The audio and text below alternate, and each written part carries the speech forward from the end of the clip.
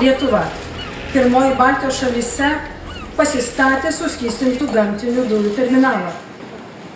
Kartu tai ir mūsų valstybės laimėjimas, mūsų visų Lietuvo žmonių laimėjimas.